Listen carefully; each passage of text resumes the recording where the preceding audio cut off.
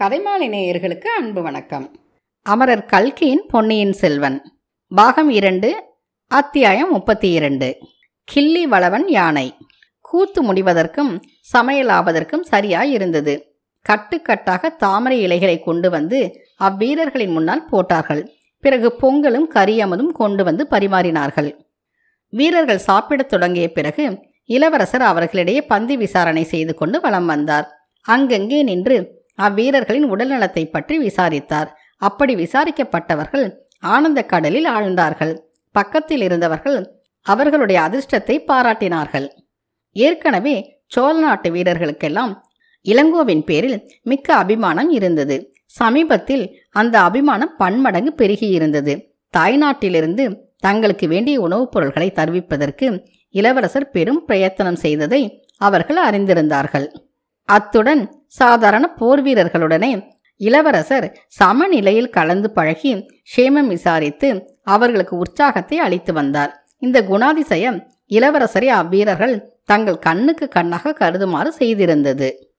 ஆகையால் வீரர்கள் அங்கங்கே இளவரசரை நிறுத்த முயன்றார்கள். துணிச்சலை வருவித்துக்கொண்டு அவரை ஏதேனும் கேள்வி கேட்பார்கள்.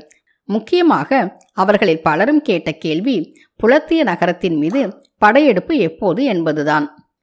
இந்த கேள்விக்கு விடையாக இளவரசர் புலத்திய நகரத்தின் மீது படையெடுத்து என்ன பயன்? மகிந்தன் ரோகணத்துக்களவா போயிருக்கிறான் என்று சிலருக்கு சொன்னார். கொஞ்சம் பொறுத்திருங்கள் மழைக்காலம் போகட்டும் என்று வேறு சிலரிடம் சொன்னார். யுத்தமின்றி சோம்பியிருப்பதில் சில வீரர்கள் தங்கள் அதிருப்தியை வெளியிட்டு கொண்டார்கள். வேறு சிலர் தாங்கள் மாதம் ஒரு முறையாவது இவ்விதம் வந்து எங்களை பார்த்துவிட்டு போனால் பொறுமையாய் இருக்கிறோம் என்றார்கள். பந்தி விசாரணை முடிந்ததும் இளவரசர் சற்று ஒதுக்குப்புறமாக அவருக்கென அமைந்திருந்த படை வீட்டுக்கு சென்றார். வந்தியத்தேவனையும் ஆழ்வார்க்கடியானையும் அவர் தம்முடன் அழைத்து கொண்டு போனார். இந்த வீரர்களின் உற்சாகத்தை பார்த்தீர்கள் அல்லவா? தஞ்சையிலிருந்து மட்டும் தகுந்த ஒத்துழைப்பு கிடைத்திருந்தால் இதற்குள் இந்த இலங்கை தீவு முழுவதும் நம் வசமாயிருக்கும். அருமையான சந்தர்ப்பம் வீணாகி போய்விட்டது. இங்கே மழைக்காலத்தில் யுத்தம் நடத்த முடியாது. இன்னும் மூன்று நாலு மாதம் நம் வீரர்கள் சும்மா இருக்க வேண்டியதுதான் என்று சொன்னார். இதை கேட்ட திருமலை இளவரசே தாங்கள் இதை பற்றி கவலைப்படுவது வியப்பாய் இருக்கிறது. அங்கேயோ சோழ சாம்ராஜ்யத்துக்கே பேரபாயம் நேர்ந்திருக்கிறது. விஜயாலய சோழர் ஸ்தாபித்த ராஜ்யம் பராந்தகராலும் சுந்தர சோழராலும் பல்கி பெருகிய மகாராஜ்யம். உள்ள அபாயங்களினால் சின்னா பின்னமாகிவிடும் போல் இருக்கிறது என்றான். ஆமாம் நீங்கள் இருவரும் முக்கியமான செய்தி கொண்டு வந்திருக்கிறீர்கள். நான் என்னுடைய அற்ப கவலையை வெளியிட்டுக் கொண்டிருக்கிறேன். நல்லது இப்போது நீங்கள் சொல்ல வேண்டியதையெல்லாம் விவரமாக சொல்லுங்கள். முதலில் இவர் ஆரம்பிக்கட்டும் என்று இளவரசர் வந்தியத்தேவனை சுட்டிக்காட்டினார். வந்தியத்தேவன் உடனே தன் கதையை தொடங்கினான். காஞ்சியிலிருந்து தான் புறப்பட்டது முதல் கண்டவை கேட்டவை எல்லாவற்றையும் கூறினான். பற்பல அபாயங்களிலிருந்து தப்புவதற்கு தான் புரிந்த சாகச செயல்களை குறித்து அதிகமாக விஸ்தரிக்க விரும்பாதவன் போல் காட்டிக்கொண்டு அதே சமயத்தில் தன் பிரதாபங்களை வெளியிட்டான். கடைசியில் ஐயா தங்கள் அருமை தந்தையாரை சிறையில் வைத்திருப்பது போல் வைத்திருக்கிறார்கள். நெருங்கிய பந்துக்களும் பெருந்தர அதிகாரிகளும் சிற்றரசர்களும் சேர்ந்து பயங்கரமான சதி செய்கிறார்கள். இதனாலெல்லாம் தங்கள் சகோதரி இளைய பிராட்டி பெரும் கவலையில் ஆழ்ந்திருக்கிறார். ஆகையால் தாங்கள் உடனே புறப்பட்டு என்னுடன் பழையாறைக்கு வர வேண்டும். ஒரு கணமும் தாமதிக்கக்கூடாது என்று முடித்தான். பிறகு ஆழ்வார்க்கடியான் தனது வரலாற்றை கூறினான். வந்தியத்தேவன் கூறியவற்றையெல்லாம் அவனும் ஆமோதித்தான். அத்துடன் திருப்புரம்பியம் பள்ளிப்படை அருகில் நள்ளிரவில் நடந்த கொலைக்காரர்களின் சதியை பற்றியும் கூறினான். சோழ நாட்டு நிலைமை இவ்வளவு அபாயகரமாய் இருப்பதால் தற்சமயம் இளவரசர் அங்கு வராமல் இருப்பதே நல்லது என்று முதன் மந்திரி சொல்லி அனுப்பிய செய்தியை மறுபடியும் வற்புறுத்தி கூறினான். தாங்கள் சோழ நாட்டுக்கு தற்சமயம் வராமல் இருப்பது மட்டுமல்ல இங்கேயும் படையெடுப்பை மேலும் விஸ்தரித்து கொண்டு போக வேண்டாம் என்று முதன் மந்திரி கேட்டுக்கொள்கிறார் படைகளை எல்லாம் திரட்டி வட இலங்கையில் சேர்த்து வைக்க வேண்டும் என்றும் கேட்டுக்கொள்கிறார். சதிகாரர்கள் சீக்கிரத்தில் வெளிப்பட்டு வந்து தங்கள் உண்மை சுரூபத்தை காட்டுவார்கள். அச்சமயம் இப்போது இலங்கையில் உள்ள படை மிக்க உபயோகமாய் இருக்கும் என்று முதன் மந்திரி அபிப்பிராயப்படுகிறார். பாண்டிய நாட்டில் தற்சமயம் உள்ள கைகோளர் படை வன்னியர் படை வேளாளர் படை மூன்றும் இளவரசருக்காக உடல் பொருள் ஆவியை அர்ப்பணம் செய்ய காத்திருக்கின்றன. இதையும் தங்களுக்கு தெரிவிக்கும்படி முதன் மந்திரி எனக்கு கட்டளையிட்டார். என்றான் ஆழ்வார்க்கடியான். திருமலை உன் குருநாதர் என்ன நினைத்துக் கொண்டிருக்கிறார்? பாடலிபுரத்து சாணக்கியரை போல் இவர் அன்பில் சாணக்கியர் என்று தன்னை எண்ணிக்கொண்டிருக்கிறாரா? என் உற்றார் உறவினரோடு நான் சண்டை போட வேண்டும் என்கிறாரா? என்று இளவரசர் ஆத்திரமாய் கேட்டார். இல்லை ஐயா அனிருத்தர் அவ்விதம் சொல்லவில்லை. ஆனால் சக்கரவர்த்திக்கு விரோதமாக சதி செய்கிறவர்களை சாம்ராஜ்யத்துக்கு துரோகம் செய்ய முயற்சி தொடங்கி இருப்பவர்களை சமயம் பார்த்து தண்டிக்க வேண்டும் என்கிறார். அதற்கு உதவி புரிவது தங்கள் கடமையல்லவா? என்றான் திருமலை.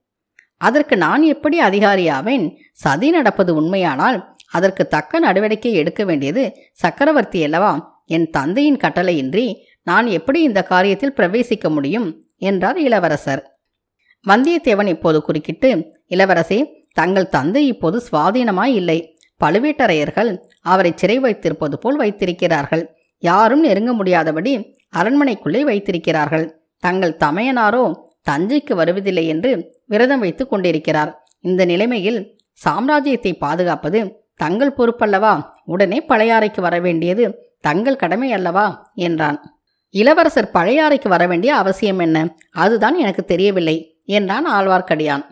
இளவரசர் சற்று சிந்தனையர் ஆழ்ந்திருந்து விட்டு மண்ணாசை மிக பொல்லாதது. ராஜ்யத்தின் பேரில் உள்ள ஆசையினால் இவ்வுலகில் என்னென்ன பயங்கரமான பாவங்கள் நடந்திருக்கின்றன? இன்று சிம்மகிரி கோட்டைக்கு போயிருந்தேன் அல்லவா? அந்த கோட்டையின் வரலாறு உங்களுக்கு தெரியுமா? என்றார். நான் கேட்டதில்லை என்றான் வந்தியத்தேவன். சொல்கிறேன் கேளுங்கள். சுமார் ஐநூறு வருஷங்களுக்கு முன்பு இந்த இலங்கை தீவை தாதுசேனன் என்ற அரசன் ஆண்டு வந்தான். அவனுக்கு இரண்டு புதல்வர்கள் இருந்தார்கள். ஒருவன் பெயர் காசியபன் இன்னொருவன் மகல்லன். தாதுசேனனின் சேனாதிபதியும் காசியபனும் சேர்ந்து சதி ஆலோசனை செய்தார்கள். காசியபன் தன் சொந்த தந்தையை சிறையில் அடைத்துவிட்டு சிங்காதனம் ஏறினான். மகல்லன் கடல் கடந்து தமிழ்நாட்டுக்கு ஓடிப்போனான். சில நாளைக்கு பிறகு தாதுசேனனின் சிறையைச் சுற்றி சுவர் எழுப்பி அடைத்து அவனை கொன்றுவிட்டார்கள். இந்த கொடூர பாவத்தை செய்த காசியபனுக்கு தன் சகோதரன் மகளன் திரும்பி வந்து பழிக்கு பழி வாங்குவான் என்ற பீதி உண்டாகிவிட்டது. அதற்காக இந்த சிம்மகிரி குன்றுக்கு வந்தான்.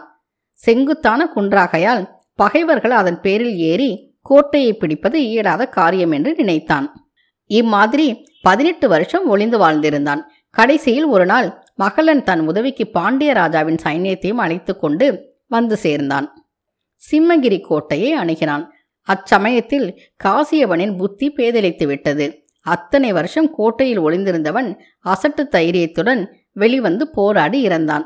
அப்பேற்பட்ட பாதகன் தந்தையை கொன்ற பாவி கட்டிய கோட்டையில் சில அற்புதமான வர்ண சித்திரங்கள் இருக்கின்றன. இன்று சீன யாத்ரீகர்களுடன் போயிருந்தபோது பார்த்தேன். அடடா அந்த சித்திரங்களின் அழகை என்னவென்று சொல்வது? பல நூறு வருஷங்களுக்கு முன்பு எழுதியவை. ஆனால் இன்றைக்கும் சிறிதும் வர்ணம் வாங்காமல் புத்தம் புதிய சித்திரங்கள் போல் இருக்கின்றன. ஐயா நான் ஒரு கேள்வி கேட்கலாமா? என்றான் ஆழ்வார்க்கடியான். தயக்கம் ஏன்? தாராளமாய் கேட்கலாம். சிம்மகிரி கோட்டை இன்னும் பகைவர் படைகளின் வசத்திலேதானே இருக்கிறது? ஆமாம் அதை கைப்பற்றும் முயற்சியை இப்போது தொடங்கும் உத்தேசம் எனக்கு இல்லை. அதனால் வீணான உயிர் சேதம் ஏற்படும். அதை பற்றி நான் கேட்கவில்லை ஐயா. பகைவர் கோட்டைக்குள் தாங்கள் பிரவேசித்தது உசிதமா என்று கேட்டேன். சீன யாத்ரீகர்களுக்கு யானைப்பாகனாக தாங்கள் போக வேண்டிய அவசியம் என்ன நேர்ந்தது? யானையின் கழுத்தில் தங்களை பார்த்ததும் என் கண்களை நம்புவதா இல்லையா என்ற சந்தேகம் எனக்கு ஏற்பட்டு விட்டது தங்களுடைய புருவத்தின் நெருப்பை பார்த்துத்தான் சந்தேகம் தெரிந்து நிச்சயப்படுத்தி கொண்டேன். இப்படி தங்கள் உயிருக்கு அபாயத்தை ஏற்படுத்தி கொள்ளலாமா? என் உயிர் மட்டம் அவ்வளவு உயர்ந்ததா திருமலை?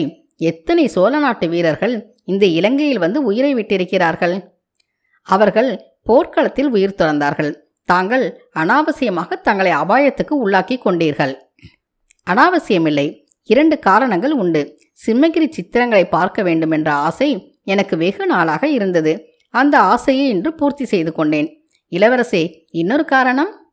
பார்த்திப பல்லவர் திரிகோணமலையில் வந்து இறங்கினவுடனே எனக்கு செய்தி கிடைத்தது. அவரை இன்று பார்க்க விரும்பவில்லை. ஏனெனில் ஏனெனில் மாதோட்டத்துக்கு முதன் மந்திரி வந்திருக்கிறார் என்பதும் எனக்கு தெரியும். அவரிடமிருந்து செய்தி வரும் என்று எதிர்பார்த்தேன். இரண்டு மூத்தவர்களிடமிருந்து செய்தி வந்தால் முதலில் கிடைக்கிற செய்தியின்படித்தானே நான் நடந்தாக வேண்டும்? வந்தியத்தேவன் ஆஹா அப்படி சொல்லுங்கள். என் கட்சி தானே ஜெயித்தது? என்று குதூகலித்தான். அரசே இவன் தங்களை தந்திரத்தினால் ஏமாற்றிவிட்டான். அவன் ஏமாற்றவில்லை. நானாகவே ஏமாந்தேன். உன்னை அழைத்து வருவதற்கு வைத்திருந்த வீரனை இவன் குதிரை மேலிருந்து தள்ளிவிட்டு அக்குதிரை மீது தான் ஏறிக்கொண்டு வந்ததை நான் கவனித்து விட்டேன். இவனுக்கு ஒரு பாடம் கற்பிக்க விரும்பினேன். நல்ல பாடம் கற்பித்தீர்கள். ஒவ்வொரு பாடமும் ஒரு மடங்கு நிறையிருக்கும். இப்போது நினைத்தாலும் என் முதுகும் மார்பும் வலிக்கின்றன. ஓலை கொண்டு வந்த தூதனை இப்படித்தானா நடத்துவது? போனால் போகட்டும். தாங்கள் மட்டும் என்னுடன் பழையாறைக்கு வருவதாயிருந்தால்? எனக்கு ஒரு பழைய பாடல் ஞாபகம் வருகிறது திருமலை. என் முன்னோர்களில் பெருங்கிள்ளி வளவன் என்று ஒரு மன்னர் இருந்தார். அவரிடம் ஒரு அதிசயமான யானை இருந்தது. அதன் ஒரு கால் காஞ்சியில் இருக்கும். இன்னொரு காலினால் தஞ்சையை மிதிக்கும். மற்றொரு கால் இந்த ஈழ நாட்டை மிதிக்கும். நாலாவது கால் உறையூரில் ஊன்றி நிலைத்திருக்கும். கச்சி ஒரு கால் மிதியா ஒரு காலால் தத்து நீர் தன் துஞ்சை தான் மிதியாய். பிற்றையும் ஈழம் ஒரு கால் மிதியா வருமே நம் கோழியர் கோக்கிள்ளி களிறு என்று அற்புதமான கற்பனையுடன் ஒரு புலவர் பாடியிருக்கிறார். இந்த இலங்கையில் மந்தை மந்தையாக ஆயிரம் ஆயிரம் யானைகள் இருக்கின்றன. இருந்து என்ன பயன்? புலவருடைய கற்பனை யானையைப் போல் ஒரு யானை இருந்தால் நானும் ஒரே சமயத்தில் காஞ்சியிலும் பழையாறையிலும் மதுரையிலும் இலங்கையிலும் இருக்கலாம் அல்லவா? புலவரின் யானையை பற்றி கேட்டதும் வந்தியத்தேவனும் ஆழ்வார்க்கடியானும் விழுந்து விழுந்து சிரித்தார்கள். அப்படிப்பட்ட யானைதான் இல்லையே தாங்கள் என்ன செய்யப் போகிறீர்கள்? என்று திருமலை கேட்டான். சந்தேகம் என்ன? பழையாறைக்கு வருவதென்றுதான் முடிவாகிவிட்டதே என்றான் வந்தியத்தேவன். உங்கள் சண்டையை கொஞ்சம் நிறுத்தி வையுங்கள். நாளை அனுராதபுரம் போவோம். அங்கே பார்த்திவ பல்லவரை நான் எப்படியும் சந்தித்தாக வேண்டும். அவர் சொல்வதையும் கேட்டுவிட்டுத்தான் முடிவு செய்ய வேண்டும் என்றார் இளவரசர். இதுவரைக்கும் கதைமாலி சேனலுக்கு சப்ஸ்கிரைப் பண்ணாதவங்க உடனே சப்ஸ்கிரைப் பண்ணிட்டு பக்கத்தில் இருக்க பெல் பட்டனை ப்ரெஸ் பண்ணுங்கள் உங்களுக்கு தெரிஞ்சவங்களுக்கும் கதைமாலி சேனல் ஷேர் பண்ண மறந்துடாதீங்க.